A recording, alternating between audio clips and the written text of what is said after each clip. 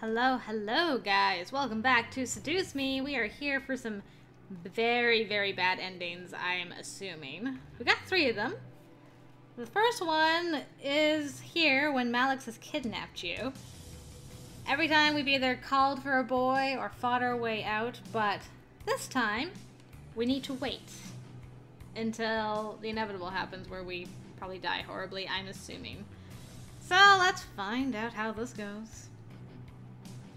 Malix walked over and set the barrel of his gun against the skin between my eyes. It'll be so funny when they find your dead body instead. Wait. I could see Malix pull the trigger before bracing myself. Huh? Oh, what the fuck? Oh, right, I have that shield. I opened my eyes again to see Malix jamming his finger against the trigger, trying to shoot me to no avail. Well, she either has the barrier spell on her, or you're losing your power. Shut up! I'm not losing shit! This little brat must have that spell on her! Shut up! Felt a wave of relief run through my body. The other devils laughed at Malix, which made him angrier. I said, shut up! Malix suddenly moved his gun towards a nearby devil and pulled the trigger. I stared wide-eyed as the bullet from Malix's gun rammed itself into the neck of the devil boy. The wound spouted fire and blood, causing the devil to scream and flail in extreme pain before falling limp to the ground. As the body hit the floor, it began to almost deform and melt. Blood and black ash poured out of the wound in every opening that body had, causing the smell of death to quickly fill the room. I felt like gagging as the body eventually stopped moving. The body became like a deflated balloon, showing me the true nature of Malix's gun. It was now just a pile of blood and skin. Ew. The bullet had burnt up the muscle, bones, and any structure the body had to give it its form. That could have been me. That could have been me. Anyone else wanna laugh at me? Huh? The devils around us shut their mouths, obeying the warning of the obvious master of the space. Malix growled before glaring at me. As I was saying, it must be some holy magic or some shit like that. Eris?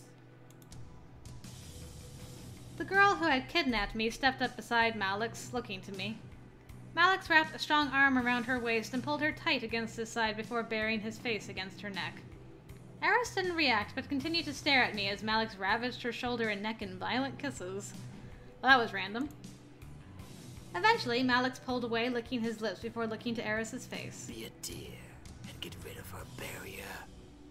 Now. Without another word, Eris walked around me out of my line of sight.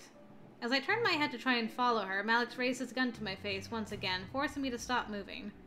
Why? He can't shoot you yet. I may not be able to shoot you yet, brat. But there are other ways I can beat the living shit out of you. Wait.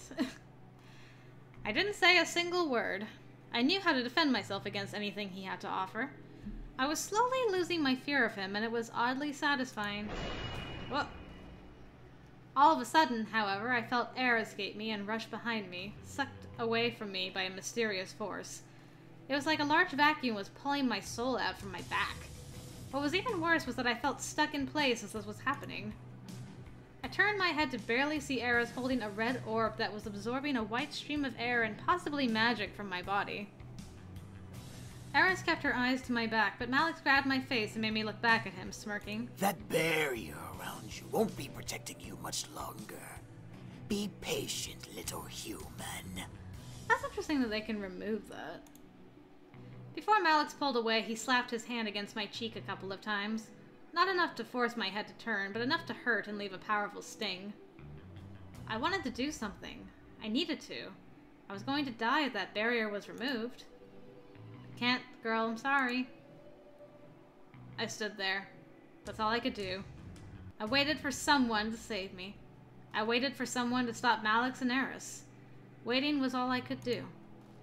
Waiting was all I convinced myself I could do because I'm trying to get a certain ending. Eventually, I felt lighter and the air stopped moving around me. Eris had finished her job.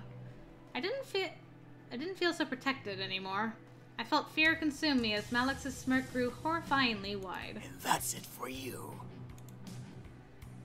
Malix quickly placed the barrel of his gun between my eyes once again and pulled the trigger. I didn't even get a chance to close my eyes. And that's it for you! Transform Simon. Ooh. Well, that left quite a mess. And that was all, that was my last thought. Okie dokie. Well, that happened. So that was Malix's bad end. Uh, I guess we'll see you for the next bad ending, guys, whatever that may entail.